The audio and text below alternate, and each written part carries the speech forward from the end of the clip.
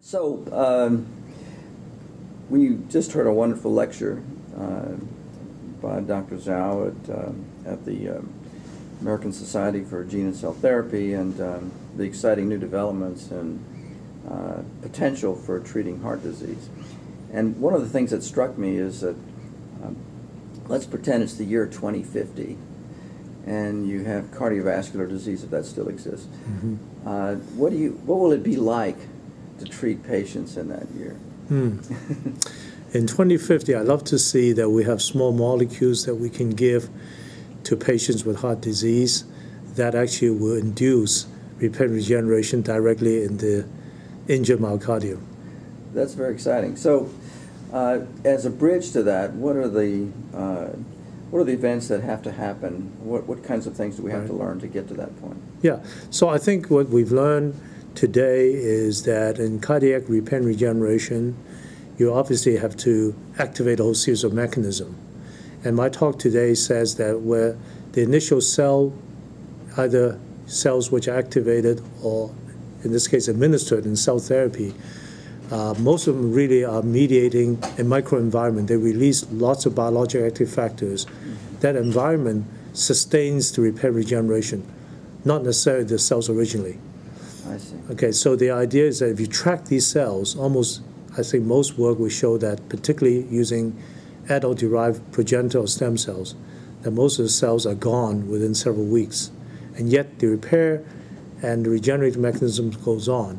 We think that what happens is that these cells express in a temporal spatial way factors that can begin to, shall we say, cascade a mechanism that involves cell survival, tissue remodeling, and eventually activate other resident stem cells to come in and repair and regenerate. So that's why the small molecule is an idea that you, in fact, you have the right small molecule, you can activate the pathway of these early stem cells to release in a more enhanced way those factors that can cascade into a sustainable regeneration and repair. So that, that's very interesting. So uh, one of the huge areas that's developed over the last decade is the role of microRNAs in controlling cellular pathways Mhm. and uh, differentiation, for example. Uh, which, what sort of work are you doing now with microRNAs that uh, might impact on this field?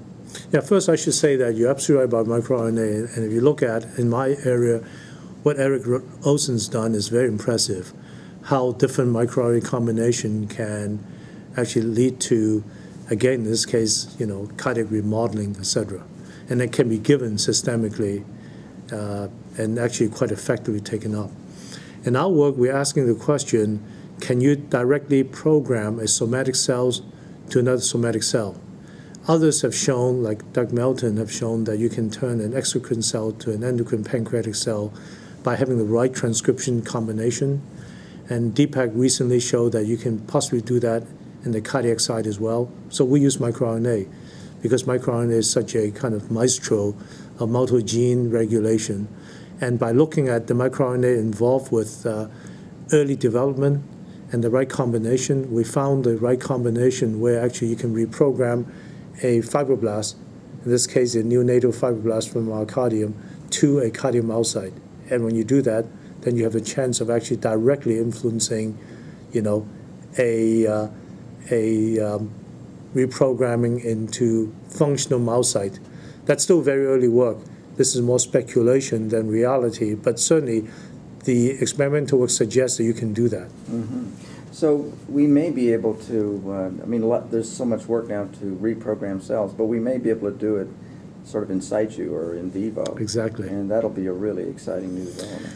Well, so that's the exciting part because if you look at the in vitro effect of reprogramming, whether using transcription factors, people, some people are using mRNA, and now even using, say, microRNA, the frequency of reprogram is not that high, right? Mm-hmm. And people are looking at whether there are epigenetic modi- modifiers to enhance it.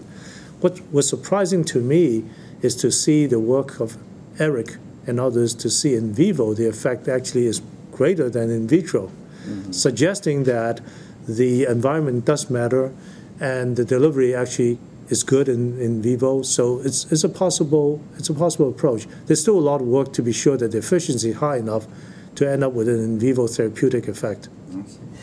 In the near term, nearer term, let's say, what, what do you see happening clinically that um, might move this field forward?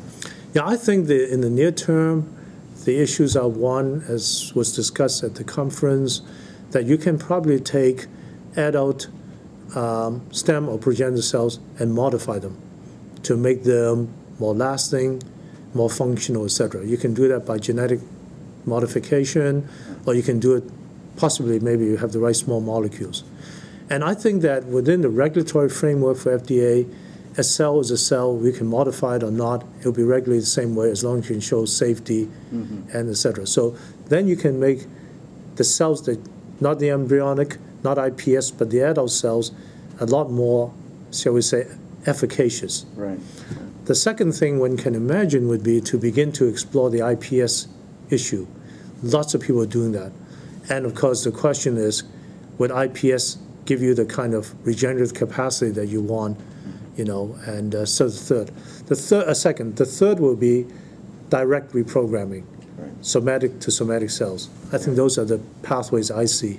You suggested that the long-term future is going to be about small molecules or individual factors, but um, you also emphasised that there was a, it was very important to have both the temporal and the spatial sequence. Do you think that the cells actually are important as a delivery vehicle, even though they disappear quite quickly? I, I think you're absolutely right. I mean, the, the, to me, the um, enigma is if the cell's around for a period of time and is gone, how do you explain for sustainable effect over many months, right? And the evidence for regeneration.